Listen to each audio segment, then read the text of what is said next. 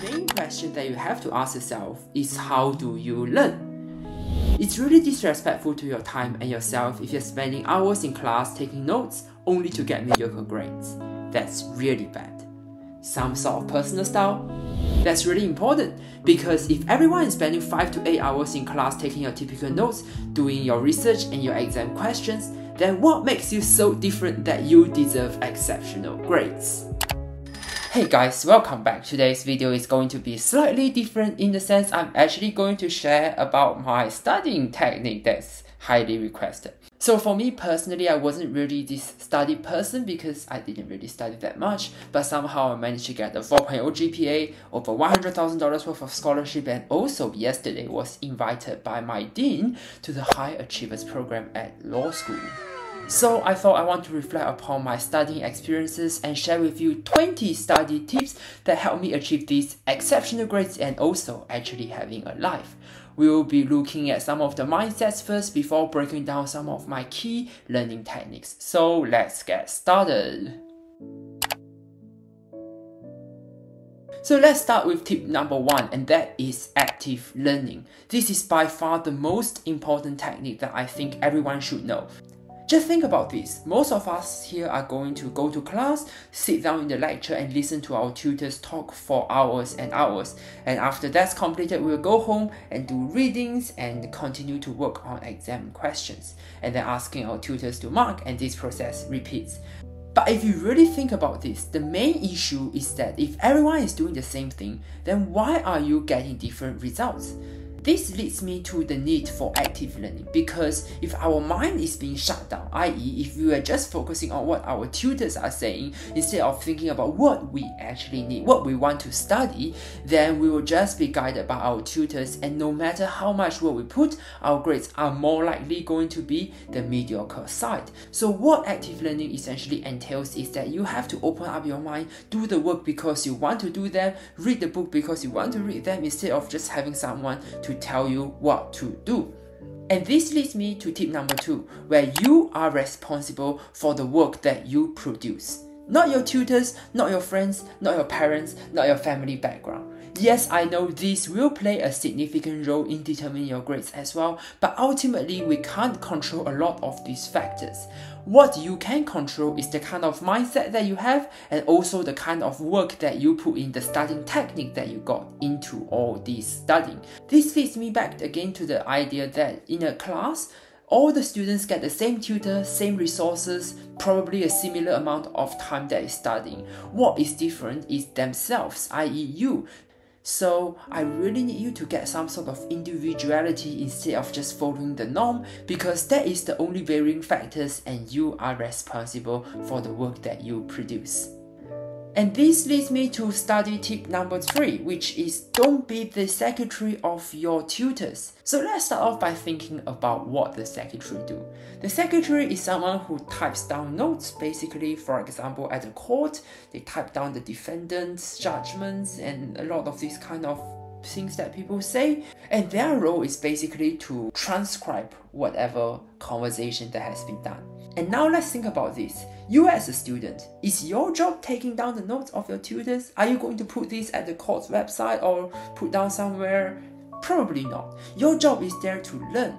And this leads me to one thing that I really couldn't understand in a lot of times is that people just keep taking down notes. Like when I go to classes, all I hear is some people just keep typing down notes and treat every single word of their lecturer like gold, and that's not good.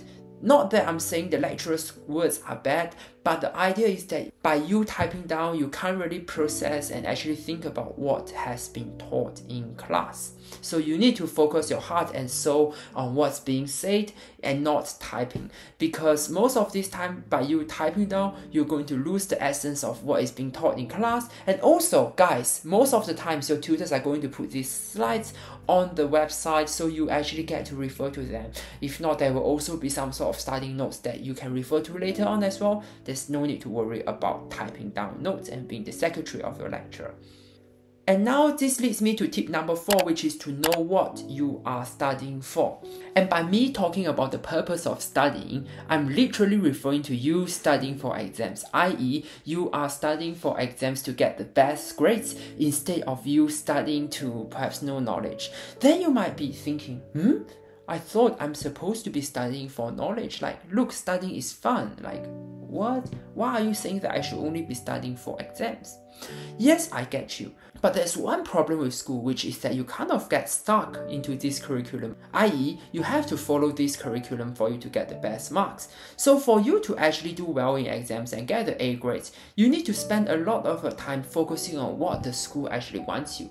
There is time for you to get those good grades, but there are also times for you to actually learn things. For example, for me, I actually like to do video editing, I like to do photography, I like music, but these are things that I don't learn in class. These are things that I Google that I learn actually actually through experience. These are things that I learned outside of the classroom and I learned them for the purpose of learning. But for you in class, sometimes there will be a trade off between learning for the purpose of learning and learning for grades. And if you want to get exceptional grades, you kind of have to go by the learning for grades pathway, which is not ideal, but it is what it is. Tip number five is to know that being a tutor is better than being a tutee. Now again, think about this situation. You might have a friend or two taking tutoring classes for the whole day and basically packing his entire schedule from day to night. And now, do you think he gets the best grades? Probably not, because he relies too much on his tutor. Recently, I got this personal trainer as well, and I asked him, you know, I attend personal training like four times a week nowadays, and I asked him this question, like, how are your best students like? Do they take a lot of classes? And surprisingly, he said no, they take one to two classes a week. And the reason behind this is that when you actually figure out things yourself, or when you actually tutor other people, that is going to be a better experience than you passively learning, which links all to the previous mindsets as well. Now let's move on to tip number six, which is to focus on ridiculous amount of quantity instead of quality. Now I know there is a huge debate between this quantity and quality. I want to explain to you why I think quantity matters more. So there was this experiment carried out a few years ago at university where there were two groups of students. One group of students were basically told to take photographs and they were judged based on the quality of one photograph at the semester. i.e., if you take a really beautiful photograph, you get A, if you take a mediocre photograph, you get B, etc. And for the other group of students, they are judged based on the number of photographs they've taken, i.e., if you take 100 photographs, you get A, if you take 80 photographs, you get B, etc. down. And surprisingly, at the end of the day, the professors graded all these photographs and chose some of the best photos. And the best photos all came from the quantity group instead of the quality group. The reason behind this is that by you practicing over and over again, you actually got the chance to keep refining yourself and thinking about how I can improve instead of you just trying to perfect that one thing. Which is why a lot of times today I'm able to do a lot of research essays and actually do them much better than a lot of my peers who actually spend like one month writing one 2000 word essay. And this is what we mean by practice makes perfect.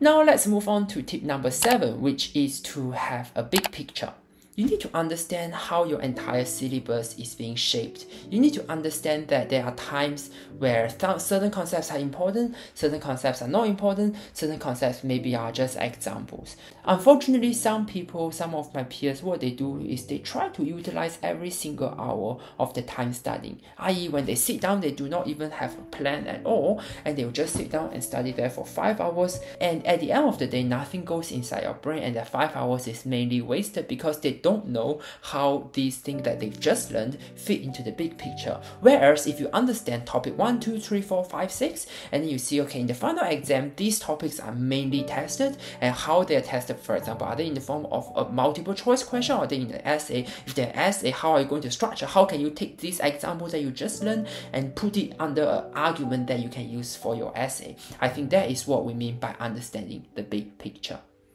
And very nicely, this leads me to study tip number eight, which is to create a study plan. You need to know exactly what you are studying so that each of your hour that is being spent studying is not wasted. A lot of times people just study for the sake of studying, they're studying for the sake of clocking the number of hours. But if you know exactly, for example, today I'm going to study chapter 1, tomorrow I'm going to study chapter 2, the day after I'm going to look at exam techniques and do a practice question, and by the end of 10 hours, for example, I will be able to get the entire syllabus out in a very efficient time. So creating a study plan actually really helps you to maximize your time and avoid unnecessary study. Now let's move on to study tip number 9 and I think this is one of the more controversial ones which is to study everything by yourself first before you even attend classes. This is something that I actually found really helpful. You might be wondering, huh? How is this even possible? I don't even know what's the content. How can I study everything by myself? But actually, I tried this technique myself, and there was one time when I was like, I just wanted to do some pre-reading. I read through the slides, I tried to understand what the concepts are, and then I went to class. I was like, holy shit, that was a completely different experience. Because by me, the process of me reading through the slides actually helped me to understand way better. I understood and appreciated where the direction of the class is going, where this big picture fall in play, and I actually have a very clear plan on how I could utilize this section of the notes that I just learned into my exam and by me going to classes after I've learned everything, I actually managed to further hone my understanding instead of me just sitting down there being a person, typing down notes, waiting for time to pass and going home and mind wandering every single where. Now let's talk about tip number 10, which is to do mock exams. Mock exams are really important because at the end of the day, you are assessed based on your ability to write the exam paper instead of your ability to regurgitate the knowledge in its pure sense. You are not going to just get tested questions on what is page 150 of your textbook, how many hours you studied. You're going to get tested based on your ability to understand the question, and by you doing mock exam questions way ahead, way in advance, a lot of quantity, you will be able to appreciate the kind of questions that come out in exam and you you will be able to hone that skill in answering that techniques. A lot of my friends, again, unfortunately, what they do is they kind of study a lot of times, but they only look at the textbook, highlighting them, reading them, and only a very little proportion of time is actually spent doing. But I believe the best students have this philosophy where they learn by doing. So I hope you will be able to do and start some mock exams after this video as well. Now, let's talk about tip number 11, a little bit more controversial again, but something very useful, which is to mark your own work after you're done. So you do a lot of past exam papers now that you're done, especially for essays, okay? You'll be like, hmm, I need to ask my tutors to mark it. We're not talking about MCQ, but we're really talking about essays over here. And 30 mark essay, 40 mark essay, where your tutors take two to four weeks to get back to you it's really frustrating to wait for tutors to, to take their own time, but also it's really helpful for you if you actually mark your own work. You will see some sort of marking rubrics where there are some sort of suggested ideas, suggested pointers where where your essay, where your where, where certain sort of writing might stand in a certain sort of scenario. Sit down, put the marking guide beside you, actually start marking and, and give yourself a mark. It, it might not be accurate, it might it might be the worst sort of marking, but that's fine. By the process of you engaging in self-reflection and self-marking, you will learn so much things that you actually cannot imagine. And that's something that a lot of my other friends don't do as well. They write the work, they put in the hard work, 20 hours went into writing like a few pieces of essay, and they put the essay aside, wait for four weeks before the tutor get back, and in that four weeks they learn nothing. Whereas for me, I literally can just do one essay, put the answer key beside me, and mark it, and get feedback on the spot. Tip number 12 is to do things early. There is actually no reason for you to leave it to the last minute. If you can learn things 5 days ahead before the deadline, can learn it 2 weeks ahead before the deadline, why do you want to leave it to the last minute? Why do you want to leave it to the day before your exam begins? The only thing you're going to give yourself is unnecessary stress and nothing goes into your brain. And to be honest, it doesn't even work most of the time as well. So do things early and don't leave things to the last minute. Tip number 13 is to actually focus on your weakness.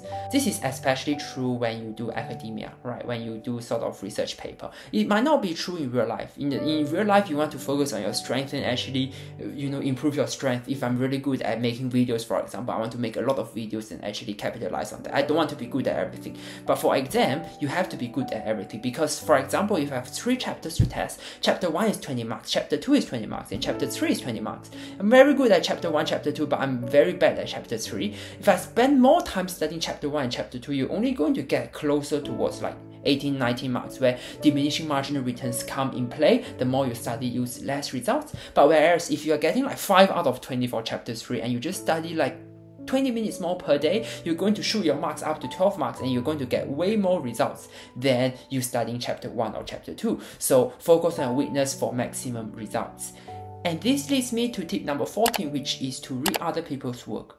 This is where collaboration come in play and it's really important because a lot of times we're just into our own world, we're just into this idea where we are the best students and uh, we don't know, we don't make any references. But then if you look at say people who get high distinctions, who get 4.0 GPAs, who get really, really good grades, and you study how they work, study their writing style, study their structure, study the kind of words that they use, and you actually start to improve by you reading them. That's the the same thing for me, say for example, when I, I start making videos as well, because I just keep looking at people and I, I try to imitate their styles, I slowly get better. And same thing for academics as well. I've actually never taken tutoring in my life. I just I just literally do by reading other people's work and trying to get inspired by them. So try reading other people's work as well, model essays, and see how your grades might change.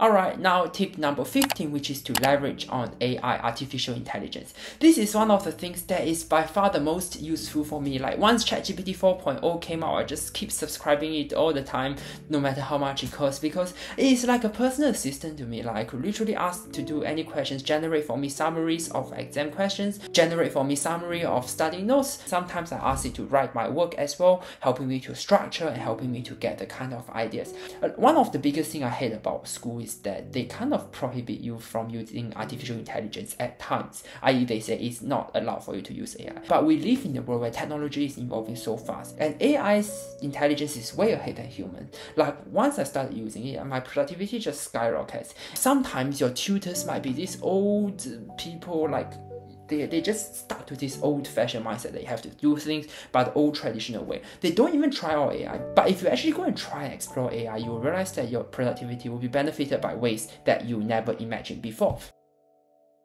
Now let's move on to tip number 16, which is to have a workspace. Environment is so important because if you have the right environment, your productivity will skyrocket in things that you never imagined before. Just think about this. Consider two countries. A country where there is very little access to technology versus a country where there is technology, like say very developed country, UK, US, Australia, Singapore, these kind of countries, you'll be able to do, you'll be able to actually study. Same thing, if you have a proper desk, you have a proper monitor, you have no distractions, you have no phone beside you, your phone is on do not disturb mode, and you know that this place is where you sit down and actually do work. This is the place where you sit down and study. This is the place where you sit down and film videos. This is the place where you sit down and sleep. You will be able to actually put your mind into this focus mode and your productivity will be much better than if you do everything in the same place. I know for some of you, you might not be able to afford this idea where you have a study room and then you have a bedroom, you have a living room. It's okay. I'm like this as well. My bed is literally beside me. But I know whenever I'm on this chair, I will be doing productive things like studying or filming videos, whereas that other side of my room will be for sleeping and social media and sort of this kind of other low productivity things. So have a proper workspace even if you are limited by space. Tip number 17 is actually to study a lot of things in a short period of time because this again forces you to get first of all that quantity also when you have to study a lot of things in a short period of time you actually force your mind to be in this very productive state. For example, if I have like two units to study for, I will only give myself one hour to study and, and I could do other things after that. So what I do is I literally sit down, I know exactly I only have one hour so I went to the summary page, I understood the main concepts, I zoom into the details, I look at what are some of the key topics under this and I zoom into examples, put it down into a mind map, and I, I'm done in half an hour. I will look at another question. So this reminds me again to another video that I've also made, which is why cramming is the best technique. Now, by me saying why cramming is the best technique, I'm not saying that you should do things last minute. That's not good. But when I say cramming, I'm literally referring to you putting a lot of things and study them in a short period of time. So if you're interested in that video as well, do check that out after the end of this video as well. Tip number 18 is to do self-reflection. So in self-reflection, you have to think about things that you've done over the past year, what's working, what's not working, what kind of studying technique actually gets you A and what kind of studying technique actually gets you B. If you think your current studying technique works well for you and you've been employing that for the past year, maybe two years, five years, and you've not been getting that kind of grades, throw away the study technique and focus on something new because you've given yourself enough time to fall in that trap of that studying technique. If you've been taking notes, you've been sold to the lies of studying very hard, taking down notes actively, being the tutor secretary, doing homework when you get home, continue to do pre-readings for school, and you've not been getting the kind of results that you want. Throw that away, try out new studying technique. It could be my technique, it could be someone else's technique, but you have to reflect on yourself. What's working, what's not working. Because if you are just repeating things that don't work, you are not going to go anywhere. So doing self-reflection is very important as well. And now this leads me to tip number 19, which is to have time to unwind and relax. We all know that we need to have a good balance in life. You can't just be a studying machine, and there's no point in being a studying machine as well. Just think about those students or those friends beside you who just proclaim that they study every day for like 24 hours a day. Are their grades good? No. So don't be like them, don't be like this person, don't be like your friend who just studies like 24 hours a day. Because first of all, they won't get the grades they desire, but second of all, it's also not good for your mental health. So when it's time, go out for a drink, go out for a party on Friday nights, to whatever you want. For me, it's editing videos, listening to some music, going out for a hike, whatever you do, take time to relax and unwind. And finally, we got the last tip, which is to understand that studying and life can actually be so good because there are so many people out there in developing countries where they don't even get access to studying. The moment where they are born, they are just thinking about how to survive, how to get the food for the next day, how to get the drink for the next day. And you and us, we are sitting down here thinking about how to actually study and get better grades and improve our results. So you kind of have to understand that life can actually be so good because you're actually so fortunate to be put in this position where you actually get to study. So actually there's little need to worry and stress about your circumstances, worry about what if I fail the next exam. Because nothing is the end of the world when we compare ourselves to other people who are from developing countries who are already in a much better position. So appreciate these opportunities, appreciate the chance of you learning knowledge, and I hope you can enjoy these processes.